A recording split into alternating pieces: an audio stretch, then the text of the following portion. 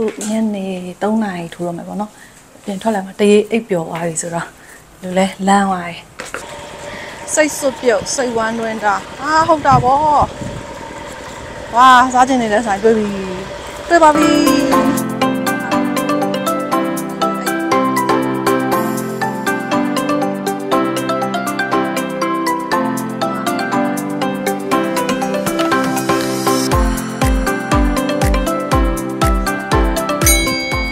ဆိုင်ဖွင့်လာမသိဘူး ဟုတ်တယ်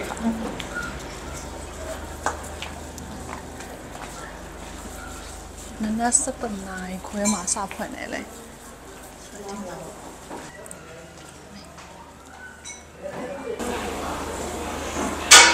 อืมอืมဝမ်းနေရရတာလေ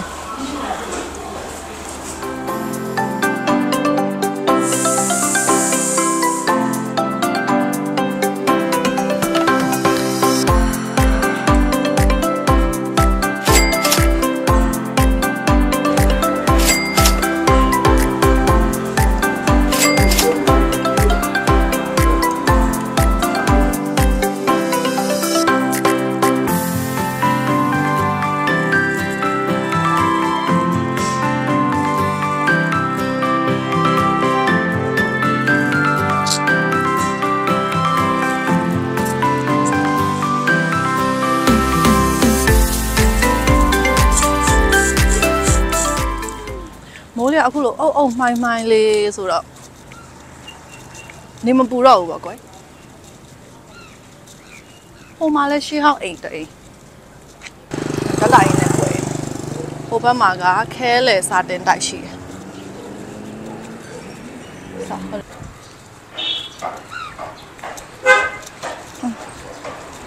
အဲဒီမှာကျမောက်ပင်လေးလေးကျမောက်ပန်းလေးလေး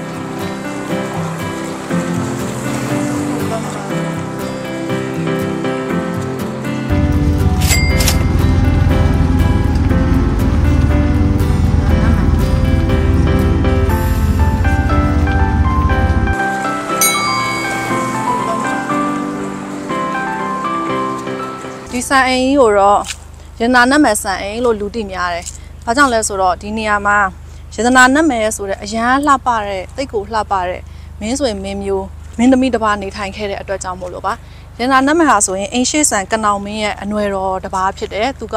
အင်ရှိဆန်ကနောင်မင်းရဲ့သားတော်ဖြစ်တဲ့လင်းမင်မင်းသားနဲ့ကျင်ရတော်ရတနာခင်ခင်ကြီးတို့ရဲ့သမီးတော်ဖြစ်တဲ့ထိတ်တယ်မလက်ကနေပြီးတော့မွေးဖွားလာတဲ့မင်းသမီးပေါ့။ပြောမယ်ဆိုရင်တော့ဘရင်ဆွေတော်မျိုးတော်ပေါ့နော်။ ဆိုတော့အင်ရှက်ဆန်ကနောင်မင်းရဲ့ဆိုရင်သူကမြစ်သွားတော်ဆက်မှာပေါ့နော်ပပီပပီပပီပပီလေးပပီလေးကဘယ်ကိုပြရမလို့လဲဟမ်လာပါဦးလာပါဦးဒီဘောလာပါဦးအဲလိမ္မာလိုက်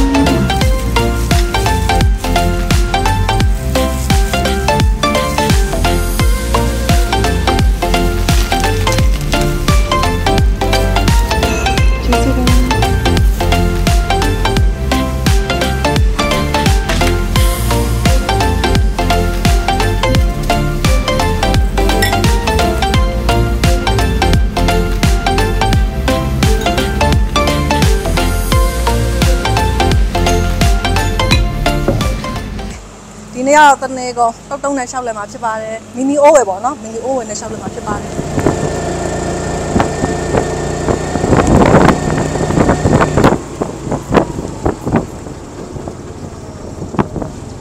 လာလာညပြားပါပါတော့ဘာမှမရှိဘူးလား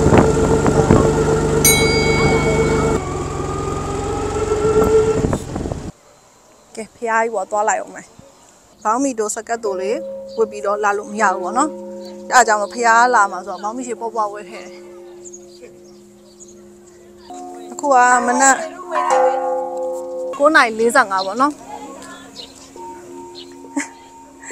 လမ်းမအားလို့ဆိုပြီးတော့ပါဇက်နဲ့ကိုက်ပြီးတော့အနှွေးထဲဟွာလောက်လိုက်တာနှခမ်းနေလည်းပေးကုန်ပြီအနှွေးထဲမှာပုတ်ပဲပါဘလို့ပြန်ပို့ရမလဲရေနဲ့လုံးမှာပဲရတော့မှာလေမပြတ်တော့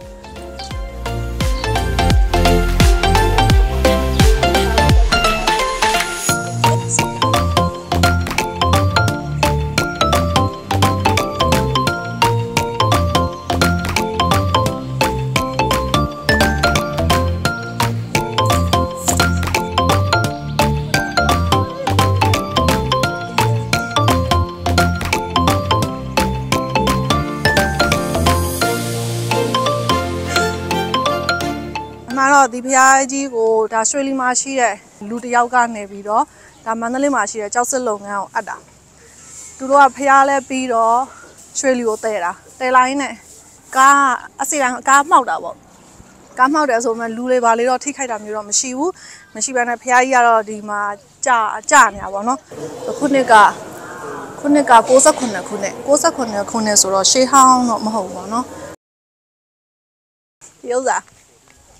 ထိုင်လို့ရอืมဒီလိုလေဒီကလေးက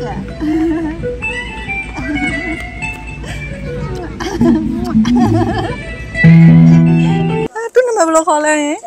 ဂျက်ကီဂျက်ကီနားရအယမဟုတ်ဘူးဟာ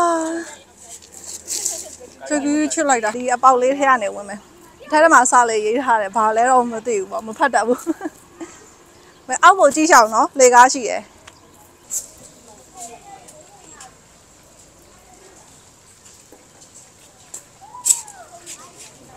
ဟို